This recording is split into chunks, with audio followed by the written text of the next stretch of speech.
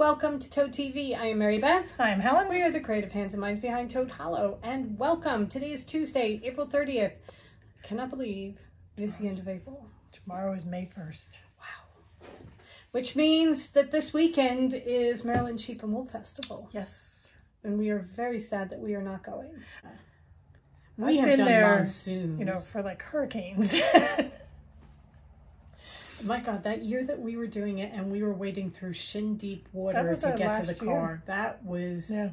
that was not a fun breakdown. That was not a fun breakdown at all. No. And yet, I still want to go. Yes. I want to go. No, I'm very set everything up and do it and yeah. see everybody. Have our special color and right. But however, not this year. Right. All right. On to happier. I was gonna say enough self pity. Right. So, so um, we've had a slightly eventful weekend. Helen will tell you all about it. Uh, Friday after our live stream, I went outside to start working in the yard and knowing that uh, my gardens were arriving to plant. And um, came out to join me and I promptly stepped wrong. I don't even know what I stepped on or in or but it resulted in a very sprained ankle. So um, I've been hobbled all weekend. So. We've been keeping her foot up right. as much as possible. She's pretty much better now. Um, I'm, I'm is, yeah, actually know. today I'm without a brace. Uh, this morning I'm without a brace. Okay. And um, it's really going up and down stairs. I can feel it just a little bit, but other than that, um, very tender to the touch. But other than that, I'm I'm good. Much much better. yeah. yeah but yeah, that was that was fun. That yeah, was really fun. Very worrisome to begin with because there was a pop. I thought I had broken it, but we quickly assessed once I stopped being sick that it was not broken. And I stayed upright. Yes, you did. Which was really good because I'm not sure you would have gotten me. um, but we did have the wheelbarrow back then. I could have just rolled you into the wheelbarrow. Of course, it's you know it's amazing what you can make yourself do to avoid the embarrassment of you know having to call people to help yes. me up. Yeah. So. But um, anyway, um, she's much better. Yes. So yes. it was a quiet weekend. It was an eventful weekend because I have lots of finished objects. So. And two very, very attentive nursemaids. Yes. Which um always good. Always good. Always very good. So I will say one of the nursemaids, as soon as I screamed, came running immediately because he loves me. And he's he takes care of you. Right. You know? Um the other one was had much more important things. She was eating something in the side yard. We have no idea what. So what happens in the side yard stays right. in the side yard, and I don't need to know any kind of details. Um, anyway, um, they they have been taking very good care of her. Yes, so it's good. Yeah. Um, yeah, so hopefully today we're going to get back into the right. garden and start working because as Helen said, she ordered a couple of gardens. We have a shade garden that's going to go on the hill by the side of the house and then we have a hummingbird and butterfly garden that need to go in. Yeah. So, um, yeah, it was very, very frustrating because it was, it was going to be a gorgeous weekend and we could got, we would have got, I had plans to get a lot of work done outside and life got in the way. The body had other plans. Yeah. So, um, so, but we start again today. Yes. Yep. And it's okay. It's all right. All right. So, um, which finished object would you like to show first? Well, we'll go with okay. With the epic. So, I finished the 24 Birds Mystery Knit Along. This is a gorgeous beast of a shawl. I did this on schedule on you time. finished it four days early. Right. I did this. This is a four skein. This is a four skein shawl. Um, and I did this in a month and six days. Okay. So 36 days, we'll say. Um, and it's too big to hold, but I'll, I'll, I'll put pictures and videos in, but okay. It's ankle's not that silly. Okay. I have to come forward there. Okay, I think that's pretty good. So it is a circular shawl And it is just, it's by Helen Stewart. It's gorgeous. I love my colors. I love the pattern. I'm going to use it as a blanket. That's how big it is. It is a lap blanket um, because I'm not quite sure how I would wear it other than fold it in half and around my shoulders. And that seems a bit of a waste for all the work that was put into it. But here, look at the, the center is a star. Oh, you can definitely see that. And then in the blue section, you can see the birds. These are wings here, or at least this is the way I interpret it. Um, oh yeah, no, I can definitely see it in the camera. Yeah. So you've got like the body coming down and then the wings on either side.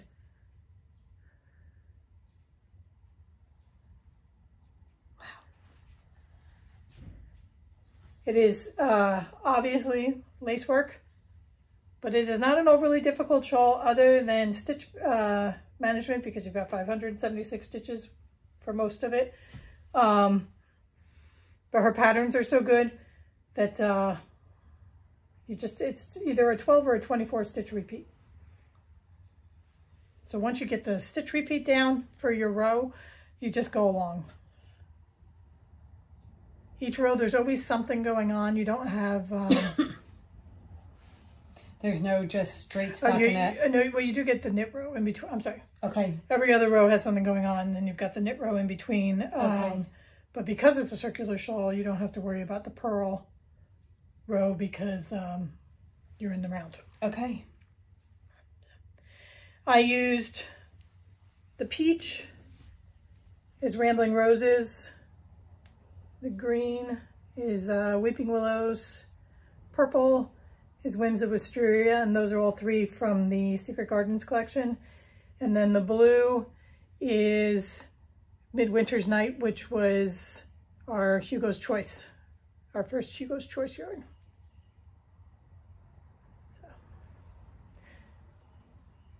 I didn't run out of anything. I used all of Midwinter's Night and Whims of Wisteria, and I have maybe 20 grams left of Weeping Willow probably about 35 grams of Rambling Roses. Okay.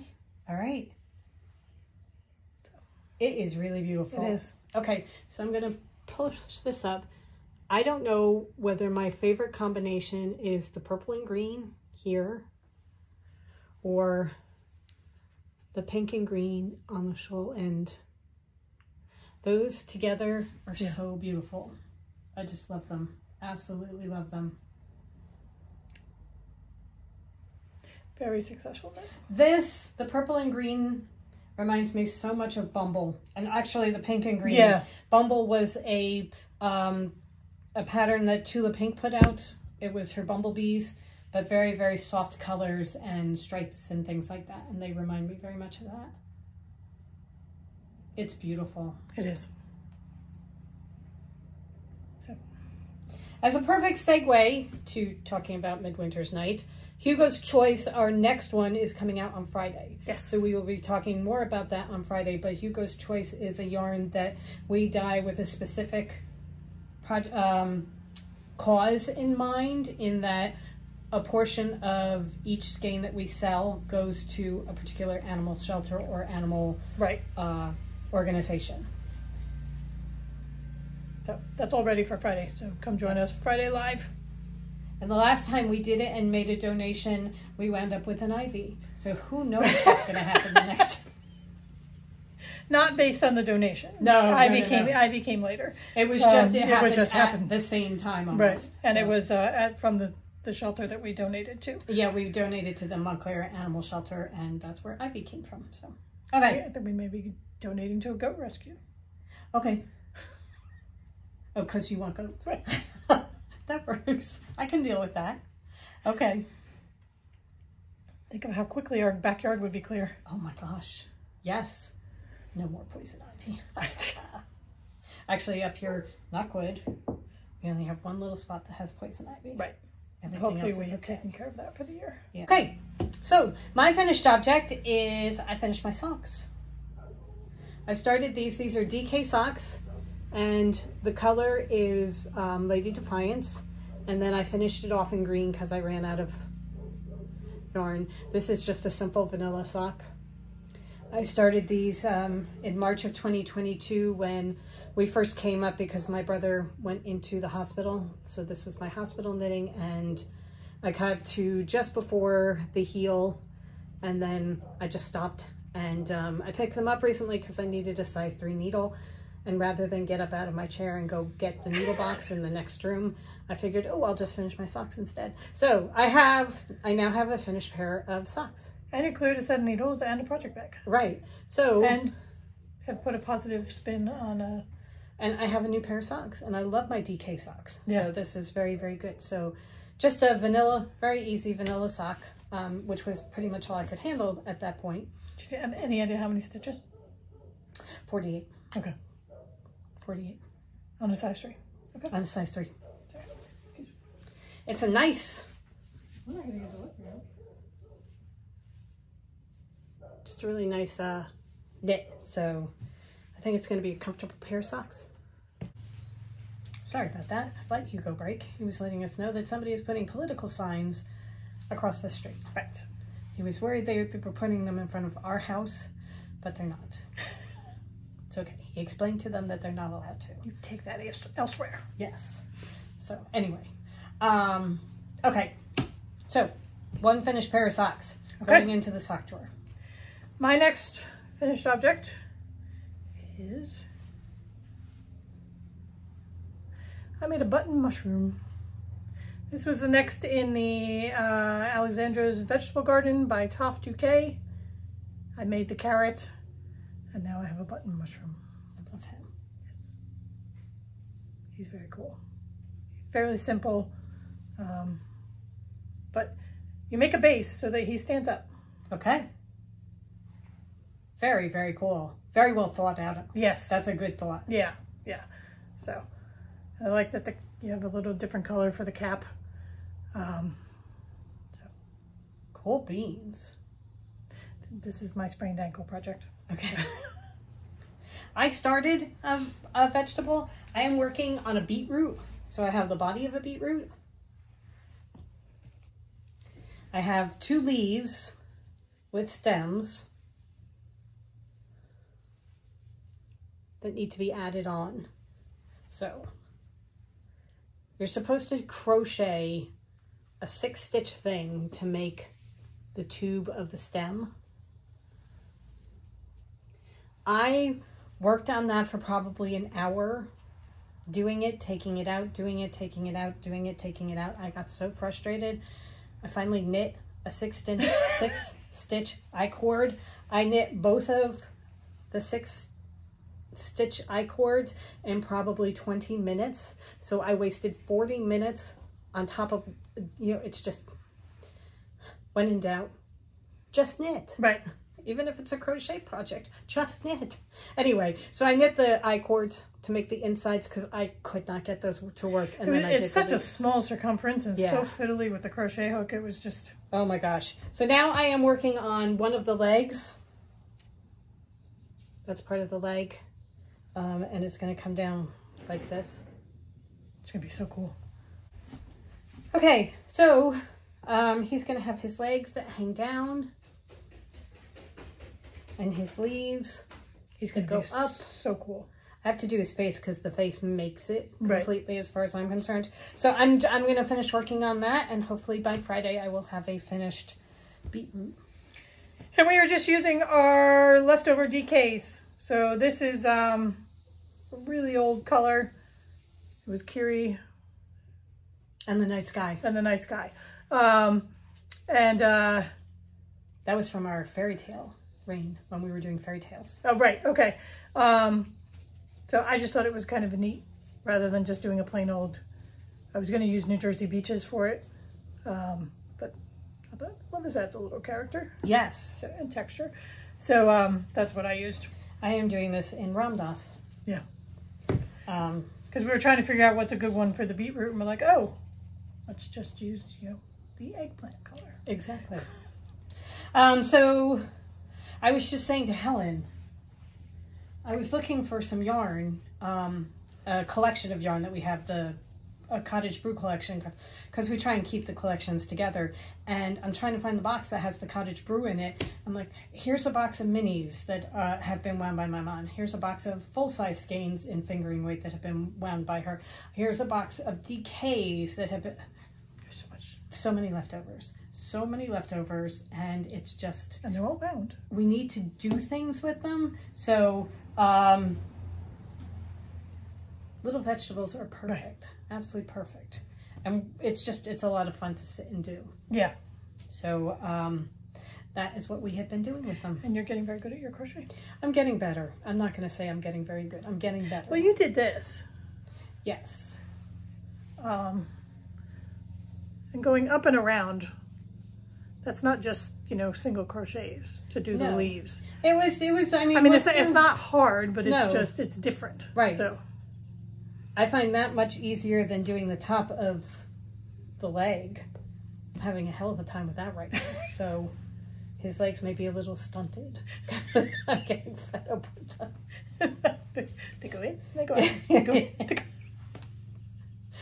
they're they're they're gonna be a little spindly. Let's say that. um, so yeah, no, um, I much prefer doing this. I wonder if on your next one you go up uh, crochet hook. Okay so that your stitches are a little looser. Oh, maybe, maybe. Because wow, that is, I can see where you're having difficulties. Because mm. that is teeny tiny. And tight. I, I crochet yeah. tight, so. However, it's all this a learning a very curve. solid leg. Stunted, but solid. Her crochet is so tight, it's like chainmail. Nothing's getting. I was gonna say you don't see any stuffing showing through my fingers. All right. Anyway. poor heart's like, please don't hold me so tight. Um, yeah. So we're gonna have a whole vegetable garden by the time we're done. Yep. So, all right. So those are the crochet projects that we're working on, slowly but surely working our way through yeah. uh, DK weight yarn. I may go to knitting next time. Okay. My, my next maybe a knit thing. Um, all right. That's what we've been working on. Oh, I have been working on my um, knockoff Lego, shall we say, um, mushroom house. It's the Storybrooke mushroom house, and I finished it. And here's a picture. It's fantastic. I had so much fun doing it. I really did. I had a wonderful time putting it together. So um, I will be getting more, but I have some other kits that are not Lego type little bricks putting together, but are more wood type of thing. So I'm going to try one of those next. Um, yeah, book nooks are up next. Yeah, it's it's. I've got some things that I want to try uh, that um, I'm really excited to put together. So um, the thing is going to be with Lego and the bricks and things like that. You snap them together and they stay together. This is gluing pieces together, yeah. which don't always go together the right way. Also, it's so messier. Yeah, because if you're gluing, then you've got to have a, you can't be doing it you, you got to cover your surface and all that. So. Yeah. I, I have no idea what is involved in this kit. I just know that um, I have a box full of stuff that needs to get put together. So we're going to try that soon. Yeah. All right. But I really, really enjoyed doing the Lego one. Loved it. Okay. What's up next? Okay. Uh, tomorrow is May 1st, which means that our April clubs go uh, live on the site. So we wanted to show you ahead of time what the colors were from April. So we have the, the Denizens of the Hollow, the Disney, and the Favorite Books Clubs, and the Denizens. Okay, here's the inspiration picture. And we're calling it Harbinger of Spring. And this is the color. So you got some oranges, brown, and then the spring flower speckles. It's I so pretty. I love this one. It is only to be outdone by Maze, which I can't show. Right. Since I just mailed it today. But oh god, that one is so good. I'm not going to do that. No, we're not doing that. We're doing April. We're right. giving April its due. Right. April is gorgeous. It's going to make a really fun pair of socks. However, people who are getting May, just wait. Okay. Um, so, Harbingers of Spring. So this is the Denizens of the Hollow. This is now available to everybody. our Disney. Disney. Here is the picture. So we are calling this Flora, Fauna, and Merryweather. So those are the three um, fairy godmothers from Sleeping Beauty. So we've got a very, very slight pink base. And then speckles for their different colors of the fairies. So they're blues and greens and reds and golds. This is a fun one. Yes, that one was, that's a good one. This is a DK skein. I might make a hat out of this one. Okay. And then our um, book, our favorite book, this is not our favorite book to read. This is an absolutely gorgeous cover of a book. Right. We both read it in college because we're both English majors, but this is The Faerie Queene.